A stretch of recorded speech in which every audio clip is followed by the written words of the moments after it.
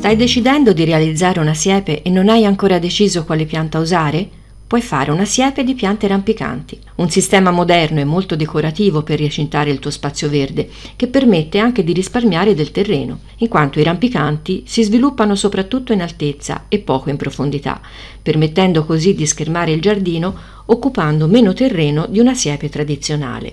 Se desideri una siepe rampicante sempreverde puoi utilizzare il falso gelsomino o l'edera.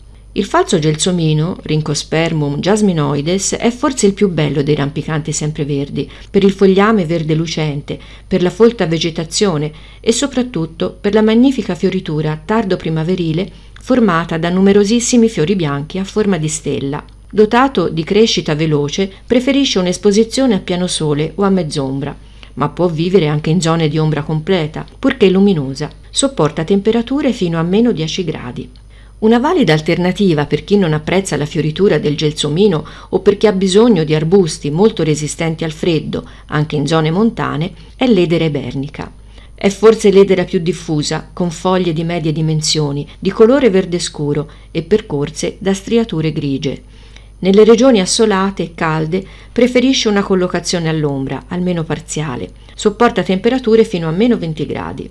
Esistono anche rampicanti semi sempreverdi, sono quegli arbusti che nei climi caldi non perdono le foglie nel periodo invernale, mentre con temperature rigide le perdono in parte o del tutto. Le principali varietà sono la lonicera e la passiflora.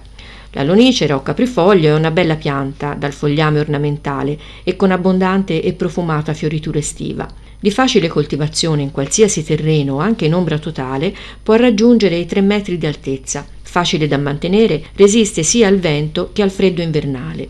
La passiflora è un rampicante rustico, famoso per la bellezza dei fiori blu e bianchi che sbocciano per tutta l'estate. In autunno i fiori lasciano il posto a deliziosi frutti arancioni, detti anche frutti della passione.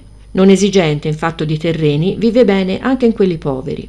Se invece vogliamo che il nostro giardino sia illuminato dal sole anche nel periodo autunnale e invernale, possiamo realizzare una siepe di piante rampicanti a foglia caduca.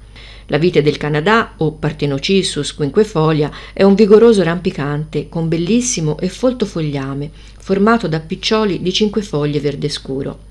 È dotata di radici con le quali si aggrappa a qualunque sostegno, anche fino a 20 metri di altezza. In autunno le foglie diventano di colore rosso scarlatto.